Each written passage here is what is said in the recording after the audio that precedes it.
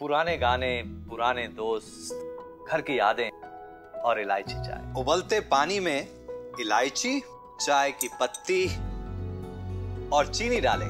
कुछ देर गैस पे उबलने दें। इलायची चाय तभी अच्छी बनेगी जब आप यूज़ करेंगे रेनबो इवेपोरेटेड मिल्क जो बना है ताजे दूध से। इसका रिच और क्रीमी टेस्ट चाय में जान डाल दे। इतना सिंपल घर की याद दिला दी। रेनबो इवेपोरेटेड मिल्क चाय का perfect match Rainbow Top Gun Season 3. Hello and welcome to Rainbow Top Gun Season 3 with your host, Shane Phillips. On this episode, we look at the extraordinary success of a man who, at the front end of his career, almost had to be brainwashed in order to complete his college and go on to become a chartered accountant. He then went on to do multi billion dollar deals as a financial consultant. And when he was asked, How do you want to give back? he said, I want to start a school. I'm all for education.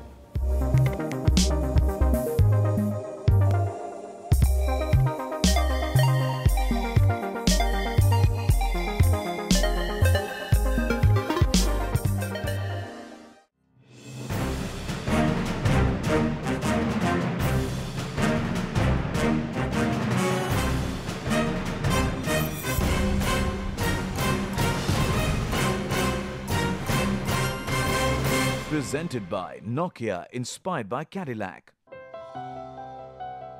Dinesh Kothari hails from the northwestern Indian state of Rajasthan.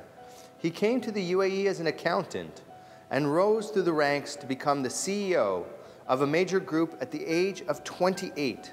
He went back to India on a hunch and then returned to the UAE to set up some of the finest schools in the region. Dinesh Kothari, welcome to Rainbow Top Guns. It's a pleasure to have you on the show today. Thank you very much for inviting me on your show. It's a pleasure to be with you.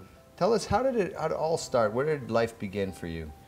Well, uh, it's almost six decades that I have to roll back my time. I was born in Rajasthan, Jodhpur. When I was about three, three and a half, I moved to Kota to live with my grandparents. Until class 8th, I did my education there, which is middle school. And uh, I went to a Gandhi medium government school. After that, uh, I moved to Calcutta, where my parents lived by that time. So secondary education I did in Calcutta. Not being a very brilliant student, I moved to Rajasthan, back to Jodhpur, and that's where I studied my undergrad, BCom, where I lived for three years with my grandfather again. And this time I lived with my mother's father. First year BCom didn't do too well and uh, was more involved in sports and extracurricular activities in the college, uh, so hardly gave my time to studies. So one evening he called me in his office. He was a lawyer by profession, and he told me that if you don't study, what will you do? And uh, that moment hit me. I went back in my room, study room, and literally sat whole night thinking that if I don't study, what really will I do? And why at this age I get a comment like that from my grandfather? I put in my best, did my BCom with the first division. So you finally set your sights on becoming a chartered accountant. It was a desire of my mother and my father, my parents, that I get into chartered accountancy. And therefore, after my BCom uh, qualification in Jodhpur, I went off to Hyderabad to do my chartered accountancy. As soon as I finished my exams, I started applying for jobs. I got calls from various interviews, and one of the interview calls I got was from A.F. Ferguson and Company Chartered Accounting Firm. And I came to Mumbai, and uh, I was staying with an uncle of mine. And he asked me what were my plans for the job. And I said, Look, I've got a job offer from Ferguson, and that's where I'm going to join. So he said, Why don't you work in ICICI? Now, ICICI those days was not a bank, it was a development institution, lending money for industrial houses, affiliated to World Bank. It was like a dream job. So I joked with him, I said, You are saying as if I have the job from ICICI, but I'm joining Ferguson. I don't have a job with ICICI. And they don't normally recruit through advertisements, they, it's more like referral appointments. So my uncle knew somebody there, so he fixed up my interview. I had almost eight or nine interviews and went on for two months and I had no job. To cut long story short, when I got fed up after two months, I went and joined Ferguson. I thought maybe, maybe I'm not found suitable. So I went and joined Ferguson, and the same day there was a call from ICICI at my house, uh, asking me to come for another interview. So I went back to ICICI, where I had interviewed the managing director at that time, Mr. S.S. Mehta. I had requested that I like to join um, project appraisal department, so the cream of the institution. And officers were not appointed in appraisal department unless they were approved by the chairman. So they said you'll have to have a final interview with the chairman. So I waited for four hours and finally I had interviewed at 8 o'clock in the evening with the chairman. At 9 o'clock in the evening, I got my appointment letter. So I'm starting tomorrow morning. With finance comes romance. With money in your pocket, you must have been eyeing a bride to be. Yes, when I had a job in my pocket, the proposal started flowing to my parents. And um, I left the decision to my mother to find uh, her daughter in law. So, what was the early years of your marriage like, considering that you barely even knew each other before you got married? I think this question didn't even cross my mind. And I don't think it crossed her mind that uh, how shall we spend time with each other if we don't know each other? It was a foregone conclusion that we are married and uh, we have to make the marriage institution respect it and live together. This question of you knowing me, you're not doing what I am wanting, or she expecting anything, she didn't expect nothing from me. And when husband and wife don't have expectation from each other, but they do it because uh, they think that's an institution they are together. In our culture, what is important? Would she blend with my family? Would I blend with her family? Uh, other day I was telling uh, someone that if the Kothari family was to divide and I had to see if somebody who will take my side, none. They all will stand by her. And that's how she has blended herself with the family. I think even today we are trying to know each other. Even today we make efforts to uh, make sure that uh, we respect each other's uh, wishes and habits and likings and dislikings. And then Dinesh Kothari gets the big break of his life a job in the UAE in the 1970s, something youngsters of the time could only dream of. But more on that after the break. वो बहुत ही अच्छे husband है और हमेशा मेरा इतना ख्याल रखा मुझे हर तरह से उन्होंने बहुत सपोर्ट किया और सबसे ज़्यादा इनकी क्वालिटी है कि जो भी करते हैं शांत होकर करते हैं और फैमिली को बहुत सपोर्ट किया। और सबसे ज़्यादा इनका एक ये रहा है कि जो कुछ करना है अपने हाथ से करना है। सब कुछ मैं ही करूँगा और इनके साथ में हमेशा He made a comment to me that I know you have been very successful, but uh, you have not done anything for the society. So why don't you do something? And that day, this thought came in my mind that I would not like to do anything which is community centric, anything which is religion centric, but do something which can touch everybody's life, and that is education. Presented by Nokia, inspired by Cadillac. थकान का एक ही उपाय है एक cup कड़क चाय उबलते पानी में थोड़ा सा जिंजर चाय की पत्ती, चीनी। कड़क चाय के लिए मैं रिकमेंड करता हूँ ताजे दूध से बना रेनबो इवेपोरेटेड मिल्क इसका रिच और क्रीमी टेस्ट चाय में जान डाल दे जैसे ही बढ़िया रंग आए, गैस बंद कर दीजिए। रेनबो इवेपोरेटेड मिल्क चाय का perfect match Rainbow Top Gun Season 3.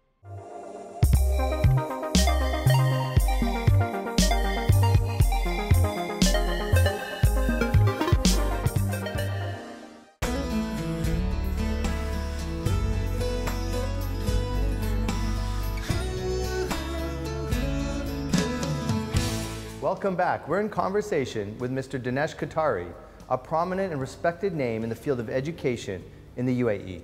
Mr. Kothari, you were telling us about how you landed your first job with Mr. Abdul Rahman Bukhatir. Yeah, Shan. Uh, it was uh, Mumbai, then Bombay, where I worked, as I was telling you before, in ICICI. And I had a friend from India, Jodhpur, Mr. Mafat Raj, the owner of Kalpataru Builders. They had started a partnership with Mr. Bukhatir to, for a contracting company in Sharjah. And they're looking for a finance manager. So he asked me that, uh, why don't you come to Dubai and work with us. So I joined the company Eastern Contracting as a finance manager, which was a joint venture between Kalpataru Builders and Bukhatir. Worked there for a while, and then I got fed up with the job. It was, became very routine in a contracting company. So one day I just thought of sending my family back to India and come back to India. So we packed up everything, uh, sent my wife and little son to the airport, and went to say goodbye to Mr. Bukhatir. When I landed up uh, in his office, uh, I had a brief chat, and I said, "Look, I'm going to India." He thought I was going on annual vacation, so he asked me a question: "When are you coming back?" And I said, "I was not coming back. I'm going for good." So he made me sit down and talk to him to find out what the problem was. I come from ICICI, project financing, new projects, new ideas, debt syndication. That's what I'm good at. And I'm not doing any of those things. So I wish to go back. Those were the years Bukhatir Group was growing. So he offered me a job in one of his, uh, his project management companies to do debt syndication and fundraising for the various new projects they were doing. That's how I stayed back. After a couple of years, the projects were finished, and I was again without a specific job. So I went to say goodbye to him again, and he said, Why are you always in a hurry? Why do you every time there's nothing happening, you want to quit? I said, Look, I don't see any job. The projects are over, the funding is done, they're up and about and running. And that's the time he said, uh, I transfer you to the parent company as an executive director. And that's when I became the CEO of the group. That's how I landed the job amazing. At, at age 28, at the age 28. you must have been one of the youngest CEOs. I think so. He was an awesome father. Um, you know, we saw him as much as time would permit, naturally, given his role. It was always daunting. I mean, seeing someone who had become a larger than life figure in what was a very small country at that time. Um, you know, from sports to education, all of my math, etc., was done with him. And he carved out time for us uh, when, whenever possible. So, um, you know, if I, I really had to sum it up, it's, it's really a mirror reflection of himself, of what he's tried to allow us to be. So, in, in respective of what he's achieved and my parents have achieved in their life, uh, we've never been allowed to lose sight of where we came from and who we are. And irrespective of the successes that we may or may not have, we'll likely still be the people that we are uh, today. Have you been able to instill the same family values that you had growing up with your kids?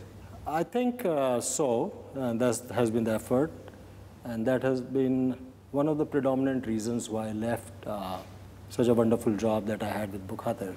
It was one of those trips when my parents were here. My son was being called by their friends to come and play, and uh, he refused to. He basically told them, I can't come because I've got guests at home. And at that moment, I realized that uh, if grandparents are guests, then my being well paid executive and CEO is all meaningless. And at that point, I took a decision that uh, it's time to go back. And I'm so glad today that uh, both my son and daughter uh, have the same values. And that was a compulsive reason for me to leave. But in hindsight, I think uh, I made a better investment. So you're back in India now. What are you doing? What's the plan of action? How are you going to approach your career in this second chapter? I knew one course was clear that I wanted to get in the same line, which I had done. And to great extent, what I was doing in Bukhatir Group was the same. So I went and set up my consulting practice. Having lived in uh, Dubai and having had a network of people, uh, I got into merchant banking business. So I started getting a lot of business to help Indian companies raise equity here. I met a banker friend and who had mandate to sell a very large business in India, uh, which was chloride with the Exide batteries. And they were looking for some equity. So he said, can you help us raising some money in Middle East? So we came here. We got two major Arab investors and whom I had known, and they put in about four, or five million pounds of equity in that business that time. And obviously that was my first breaking path in my consulting merchant banking practice. And thereafter, for many years, I went, can continue to do merchant banking business till almost 95.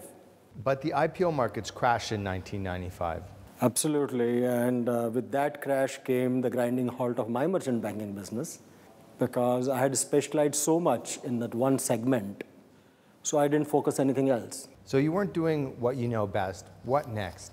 You see, in one of my trips to Mumbai after that, I was staying in Oberoi Hotel, and a friend of mine introduced me a gentleman from Switzerland that I run a consulting, financial consulting practice, and they were looking to acquire some cement business in India.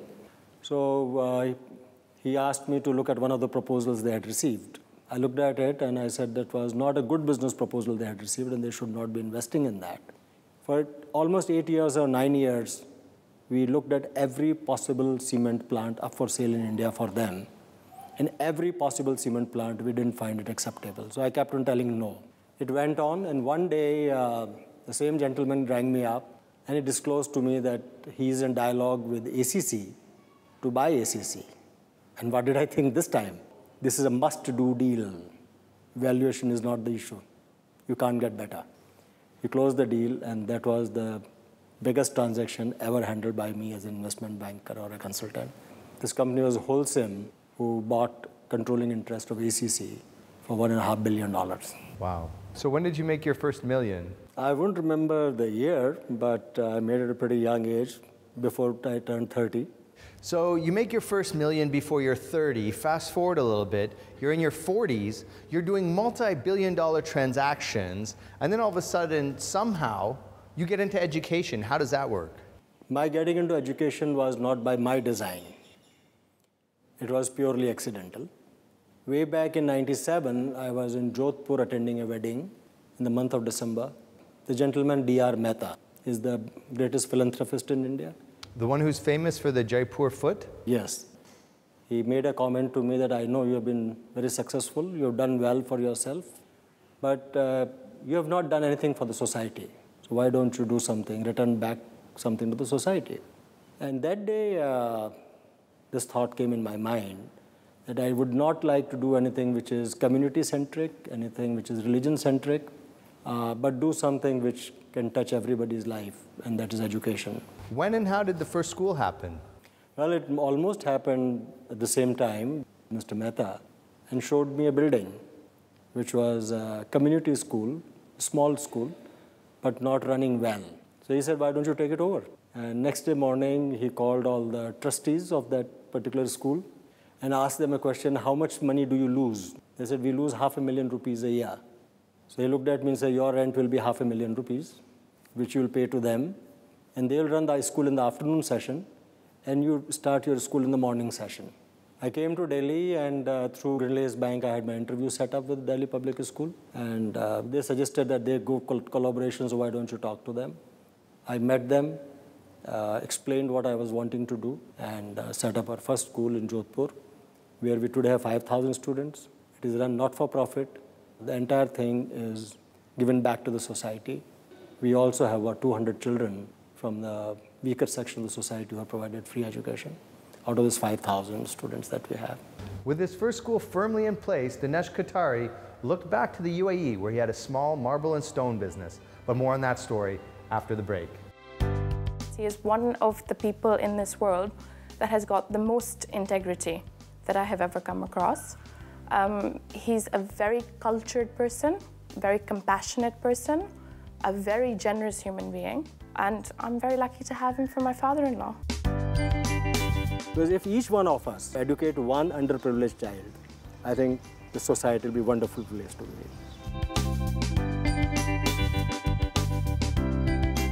Presented by Nokia, inspired by Cadillac. This is not a phone to just capture beautiful things. This phone captures feelings. It memorizes dream machines and the goosebumps you got when they screamed. To record a jump into the unknown and relive the madness, the dry mouths, the exploding chests. Introducing the large screen new Nokia Lumia 1520 with a full HD display, full HD video recording, and distortion free sound capture. Don't just record, relive.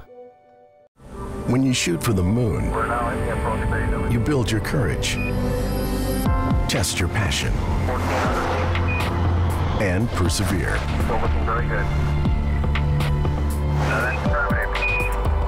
The all new 2014 Cadillac CTS, a bold journey. गपशप के साथ तो एक cup चाय बनती है। मसाला चाय। इलायची लौंग और दालचीनी। इसको कूट लें। उबलते पानी में डालें। इसके अंदर चाय की पत्ती और चीनी डालिए। बढ़िया मसाला चाय बनाने का मेरा एक छोटा सा राज है। ताजे दूध से बना रेनबो इवेपोरेटेड मिल्क इसका रिच और क्रीमी टेस्ट चाय में जान डाल दे। ये हुई ना मसालेदार बात। रेनबो इवेपोरेटेड मिल्क चाय का perfect match Rainbow Top season Season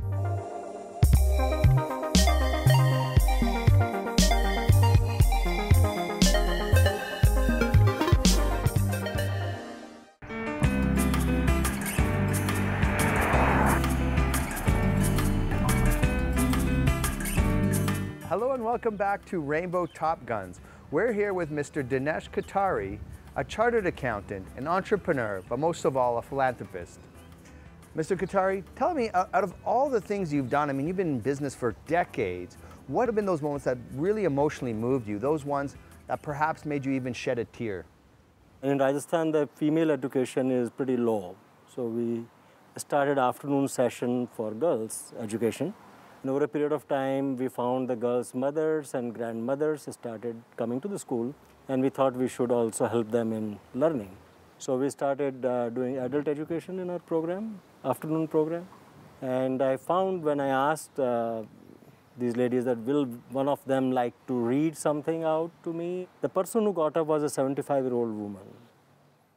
She started reading, and that was a moment. It touched me most.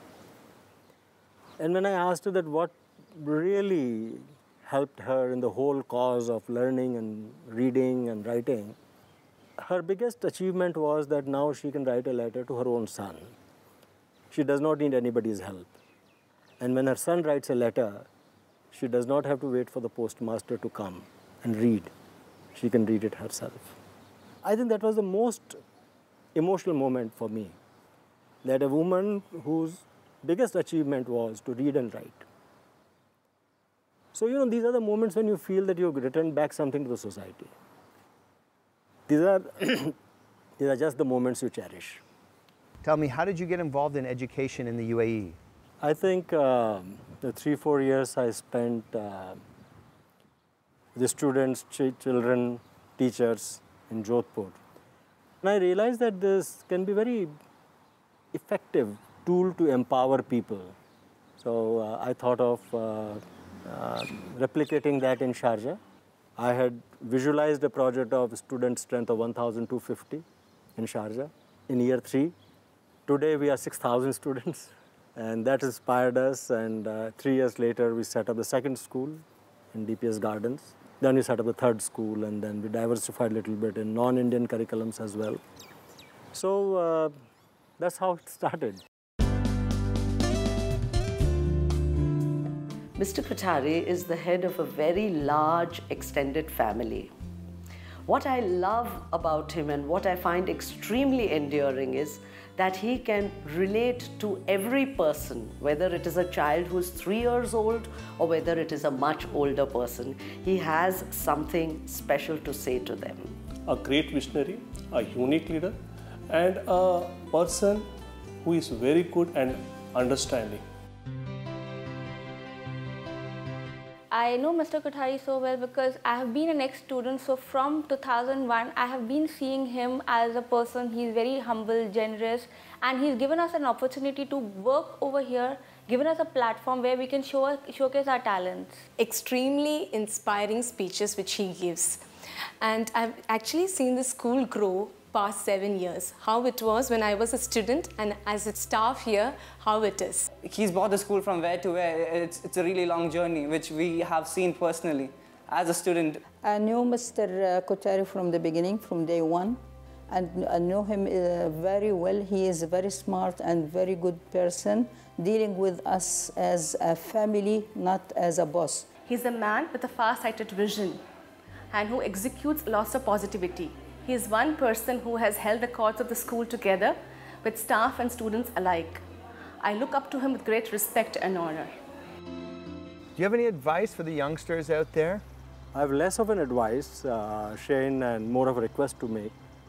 the request I have to everyone is, let's take an oath that during our lifetime, we'll educate one underprivileged child.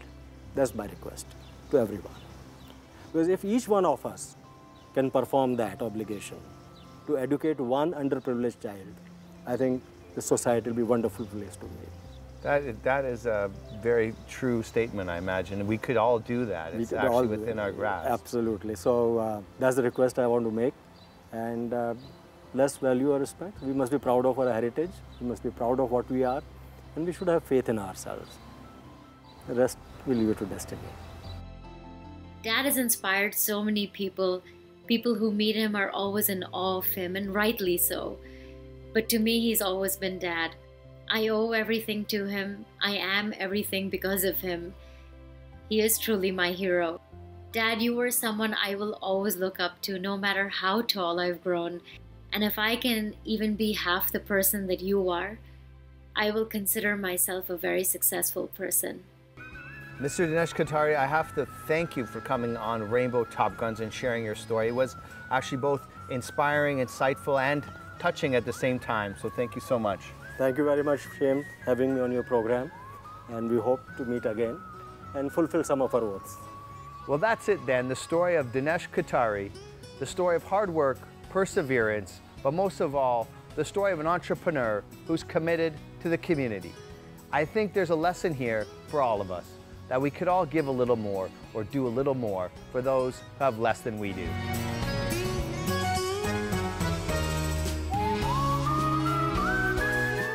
Well, that brings us to the end of yet another fantastic season of Rainbow Top Guns. Thanks for watching, and I have to personally thank you for making us the number one locally produced show across all South Asian channels. Stay tuned for next season as we bring you more inspiration, more self-made billionaires, more self-made millionaires than ever before. This is your host, Shane Phillips, saying Masalama. the concept of uh, joint families are not there anymore because that's where the family values come that's where from the bonding comes and uh, these values cannot be taught you have to live in those values so only if they stay together if they spend time together they automatically get transferred therefore i think uh, young parents must try to do that take initiative either get the grandparents to stay with them or get the children to go and stay with them. So yes, everybody should make effort to make it practical at least once a year.